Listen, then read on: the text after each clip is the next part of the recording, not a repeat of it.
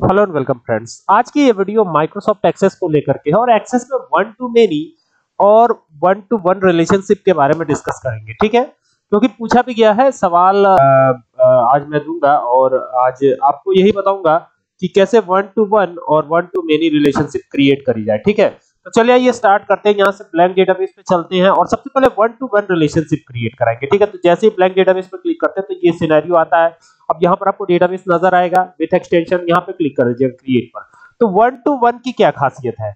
One to one की खासियत ये है, देखिए मैं बताता हूँ इसको क्रिएट कैसे करेंगे। देखिए, यहाँ डिज़ाइन व्यू पे गए और यहाँ पर टेबल का नाम आपको दे देना ठीक है? जैसे मान लीजिए स्टूडेंट की टेबल है या प्रोडक्ट की टेबल है, जो भी हो तो यहाँ प्रोडक्ट करते हैं तो प्रोडक्ट टी कर दिया तो ये प्रोडक्ट टी हो गया। यानी प्रोडक्ट की टेबल हम यहाँ बना रहे हैं। तो यहाँ आईडी आ जाएगी प्रोडक्ट की, यहाँ नेम ऑफ़ प्रोडक्ट आएगा तो ये नेम लिख दिया ऑफ़ प्रोडक्ट कर देते हैं। तो ये हो गया नेम ऑफ़ प्रोडक्ट अब नेम ऑफ़ प्रोडक्ट यहाँ पर आएगा तो शॉर्ट टेक्स्ट रख दिया है, ठीक है? आप शायद 2007 यूज़ कर रहे होंगे तो वहाँ केवल आपको टेक्स्ट ही मिलेगा, ठीक है? इसके बाद आएगा यहाँ पर प्राइस तो प्राइस को करेंसी रखेंगे, जैसा कि आप जानते ही हैं। तो यहाँ पर करेंसी कर लीजिएगा। ये करेंसी डेटा टाइप आपको मिल जाता है यहाँ पर। इसके बाद आएगा यूनिट तो यूनिट यहाँ पे कर देते हैं, ठीक है? या क्यूटीवाई भी कर सकते हैं। यहाँ पे क्यूटीवाई क्यूटीवाई का मतलब क्वांटिटी क्वांटिटी ठीक है ना?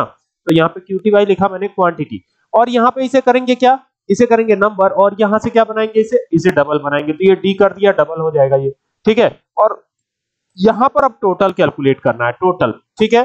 तो टोटल कैसे कैलकुलेट होगा? अच्छा यहाँ पर प्रोडक्ट की आईडी आएगी। यहाँ पे कर देता हूँ प्रोडक्ट अंडरस्कोर आईडी ठीक है? और ये ऑटो नंबर रखा है मैंने।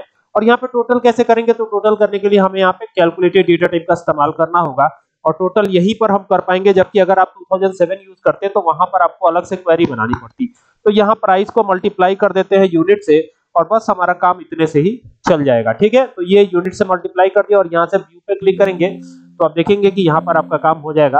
यहाँ पर पहले इस फ़ील्ड को मैं डिलीट कर देता हूँ, यहाँ से कट करता हूँ, फिर वापस से टोटल लेता हूँ, क्योंकि शॉर्ट टेक्स्ट ऑलरेडी आ गया था यहाँ पर। अब यहाँ से इसको चेंज करेंगे। ये कैलकुलेटर ले लिया हमने और यहाँ पर करेंगे price P R I C price हो गया और multiply by Q T Y है तो जैसे लिखा हुआ है क्यू टी वाई यानी क्वांटिटी वैसे ही लिख देंगे हम, ठीक है? और यहाँ पर ओके करेंगे और यहाँ से व्यू पे क्लिक करेंगे तो आप देखेंगे कि ये कुछ इस तरीके से आ जाएगा। सीनरियो कुछ ऐसा आ रहा है, देख सकते हैं। अब यहाँ पर प्रोडक्ट आईडी को मैंने बनाया प्राइमरी की देखिए, ये प्राइमरी की है। प्रोडक्ट आईडी को मैंने क्या बनाया? प्राइमरी की यहाँ पर आपको एक की सी नज़र आ रही होगी, ये प्राइमरी की है, ठीक है? तो डेटाबेस में काफ़ी मायने रखती है और यहाँ पर प्रोडक्ट आईडी को मैंने बना दिया प्राइमरी की अब यहाँ पर आते हैं तो नेम ऑफ़ प्रोडक्ट डालेंगे। तो जैसे मान लीजिए, हमने नेम ऑफ़ प्रोडक्ट में डाल दिया शुगर ठीक है? और मान लीजिए शुगर पैंतालीस रुपए किलो है, सात किलो की बात हो रही है तो तीन सौ पंद्रह रुपए अपने आप कैलकुलेट होकर आ रहे हैं, ठीक है?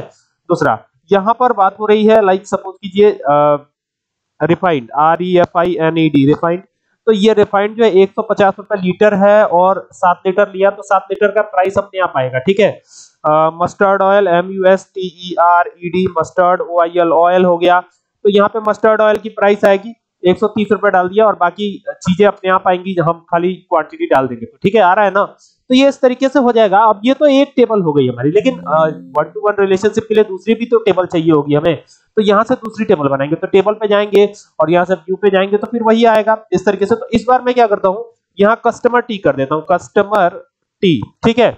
और ये कस्टमर टी कर दिया हमने। अब कस्टमर टी जैसे ही करते हैं तो यहाँ पर आएगा कस्टमर आईडी क्या आएगा? कस्टमर आईडी यानी यहाँ पर मैं कस्टमर आईडी किस को बना रहा हूँ प्राइमरी की, ठीक है? और इसे रख रहा हूँ text data type pure text ठीक है? और यहाँ पे क्या लूँगा? यहाँ पे मैं लूँगा प्रोडक्ट आईडी तो प्रोडक्ट अंडरस्कोर आईडी जैसे वहाँ लिखा था वैसे ही लिखेंगे, ठीक है? क्योंकि यहाँ पर हम शॉर्ट टेक्स्ट नहीं नंबर भी ले सकते हैं तो ये नंबर कर दिया। तो देखिएगा, इस वाले टेबल में जो कि प्रोडक्ट वाली थी, देखिए मैं दिखा देता हूँ, इसमें प्रोडक्ट आईडी को प्राइमरी की बनाया लेकिन सेकंड वाले टेबल में हमने प्रोडक्ट आईडी को प्राइमरी की नहीं बनाया है। हमने कस्टमर आईडी को प्राइमरी की बनाया है। और यहाँ पे क्या करते हैं नेम ऑफ़ कस्टमर करते हैं, ठीक है? तो ये लिखा name underscore of underscore customer तो ये हो गया नेम ऑफ़ कस्टमर ठीक है? और नेम ऑफ़ कस्टमर करके और यहाँ पर शॉर्ट टेक्स्ट हो जाएगा और बस यहाँ से व्यू पे क्लिक कीजिएगा और यहाँ पे यस कर दीजिएगा। ठीक है? और यहाँ से इसको ड्रैग कर लीजिएगा। ये हो गया इस तरीके से ड्रैग कर लीजिएगा। और यहाँ पर जो है, आप कस्टमर आईडी डाल सकते हैं अपनी। ठीक है? तो यहाँ पे सी ज़ीरो वन मान लीजिए कस्टमर आईडी है और कस्टमर का नेम यहाँ पे आएगा। ये मेन टेबल है कस्टमर वाली। ठीक है? तो यहाँ कस्टमर का नेम आ जाएगा। जैसे कस्टमर का नेम है राम। ठीक है? और यहाँ पे प्रोडक्ट आईडी तो इसके अकॉर्डिंग आएगी ना। ये वाला जो टेबल है, इसके अकॉर्डिंग प्रोडक्ट आईडी आएगी। तो यहाँ पर प्रोडक्ट आईडी के लिए हम वन डालेंगे, ठीक है? तो यहाँ वन कर दिया, ठीक है? अब इसी तरीके से यहाँ पर आएगा तो ये सी ज़ीरो टू हो जाएगा, ठीक है? और यहाँ पर क्या आएगा? यहाँ पे टू होगा, और यहाँ पे श्याम यहाँ पे दे देते हैं। तो ये कस्टमर का नेम हो जाएगा, आई बात समझ में? तो इस तरीके से आप कस्टमर का नेम और कस्टमर की आईडी डाल सकते हैं। अब दो टेबल हमारे पास बन गई हैं तो अब हम रिलेशनशिप क्रिएट करा सकते हैं। तो एक तो रिलेशनशिप होती है जो कि वन टू मेनी होती है और एक वन टू वन होती है। तो ये कैसे होगा? देखिए डेटाबेस टूल्स पे जाएँगे और यहाँ पर रिलेशनशिप मिलेगा, चले जाइएगा और ये दोनों टेबल को ड्रैग करके यहाँ लाइएगा। शायद आप 2007 यूज़ करेंगे तो ऊपर ही आपको दिख जाएगा और उसे ऐड करवा लेंगे आप, ठीक है? और इस तरीके से अगर 2021 यूज़ करते हैं तो ऐसे कर सकते हैं, ठीक है? अब यहाँ पर ये इस तरीके से हो जा रहा है। देख सकते हैं दोनों आ चुका है टेबल लेकिन जब वन टू वन रिलेशनशिप की बात आती है, ठीक है वन टू मैंने कई बार बता चुका हूँ, लेकिन जब वन टू वन रिलेशनशिप की बात आती है तो इसमें हम कैसे क्या कर सकते हैं, उसको एक बार देख लेते हैं, तब हम वन टू मेनी पे चलते हैं, ठीक है ना? अब ये दोनों टेबल्स तो बन चुकी हैं, और रिलेशनशिप भी हम क्रिएट कराने के काफ़ी करीब हैं, लेकिन यहाँ पर आते हैं कस्टमर वाले टेबल पर। एक बार जरा देखते हैं। यहाँ पे जो प्रोडक्ट आईडी है, अगर नीचे आते हैं तो यस डुप्लीकेट ओके दिया हुआ है, ठीक है? यहाँ नीचे देखिए, ये जो जनरल लुकअप्स आपको दिखाई दे रहा होगा फ़ील्ड प्रॉपर्टी के नीचे, यहाँ पे इंडेक्स के अंदर तो यहाँ देखिए यस डुप्लीकेट ओके है। कौन से फ़ील्ड में है ये ओके जरा देखिएगा, यहाँ पर है प्रोडक्ट आईडी में। तो यहाँ पर इसे हम, हमें डुप्लीकेट नहीं होने देना है, ठीक है? तो इसलिए हम क्या करेंगे, यहाँ पर आएँगे और यहाँ पे क्या कर देंगे? यस नो डुप्लीकेट ठीक है? इसको यस नो डुप्लीकेट कर दीजिएगा और व्यू पे क्लिक कीजिएगा और जैसे व्यू पे क्लिक करेंगे तो ये आएगा you must first save the table तो यस कर दीजिए, क्या दिक्कत है? तो ये हो गया। ठीक है? तो ये इस तरीके से हो गया। अब इसमें और भी रिकॉर्ड आप डाल सकते हैं। जैसे कस्टमर आईडी है तो यहाँ पे सी ज़ीरो थ्री कर दिया और यहाँ पे roll number three product sorry product ID three हो गया और हिना खान यहाँ पे कर देते हैं अगले कस्टमर का नाम। तो ये हो गया हिना खान। और फिर इसी तरीके से अगला भी करेंगे। तो ये कुल मिला के यहाँ पर भी हमारे पास तीन ही प्रोडक्ट है। तो हम तीन ही रखते हैं, आगे बढ़ते हैं, ठीक है? क्योंकि सवाल है कि वन टू वन रिलेशनशिप कैसे क्रिएट की जाए, फिर वन टू मेनी तो वन टू मेनी तो आसान है। अब मैं वो भी समझाता हूँ। यहाँ पर रिलेशनशिप पे जाएँगे और इन दोनों को फिर वापिस से लेके आते हैं यहाँ पे, ठीक है? अभी देख लीजिए, यहाँ पे लेके आए। अब हमें क्या करना है? यहाँ पर देखिए कस्टमर आईडी दिख रहा है प्रोडक्ट आईडी दिख रहा है, ठीक है? ये जो प्रोडक्ट वाली टेबल है, इसको इधर लेके आएँगे, इसको इधर कर देंगे, ये हो गया, ठीक है? और यहाँ से ये जो प्रोडक्ट आईडी वाली टेबल है, इसको उठा के यहाँ रखेंगे और यहाँ इन तीनों पे टिक करेंगे। अब नीचे देखिए क्या लिखा हुआ है वन टू वन रिलेशनशिप आ रहा है ना? रिलेशनशिप का टाइप क्या है? वन टू वन है। और यहाँ पे क्लिक किया तो ये वन टू वन देखिए वन वन आ रहा है ना? यानी one to one relationship create हो गया, ठीक है? अब यहाँ पे जाएँगे तो आपको प्लस का साइन मिलेगा और ये वन टू वन रिलेशनशिप है, ठीक है ना? अब देखिए वन टू मेनी में क्या होता है? अगर बात करें वन टू मेनी की तो ये कैसे क्रिएट होगा? देखिए, इसी में क्रिएट हो जाएगा। मैं क्रिएट करके भी दिखाता हूँ अभी। देखिए, करना क्या है कि जैसे ही आप ये कस्टमर वाले टेबल पे आते हैं तो इसको क्या करिएगा? जस्ट नो डुप्लीकेट जो दिया गया है, ये देखिए, ये तो customer ID yes no duplicate है।